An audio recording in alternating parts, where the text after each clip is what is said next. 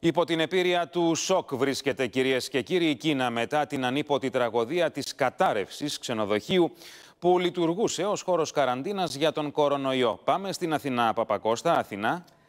Μέσα σε μόλις λίγα λεπτά, ξενοδοχείο που χρησιμοποιούνταν ως χώρος απομόνωσης ατόμων που ενδέχεται να είχαν μολυνθεί από τον COVID-19 καταραίει και στα συντρίμια εγκλωβίζονται περίπου 70 άνθρωποι. Τουλάχιστον 6 έχουν χάσει τη ζωή τους και 28 είναι οι μέχρι στιγμής αγνοούμενοι. Στα πλάνα μας βλέπουμε μεταξύ άλλων σωστικά συνεργεία να απομακρύνουν ένα μικρό αγοράκι από τα ερήπια.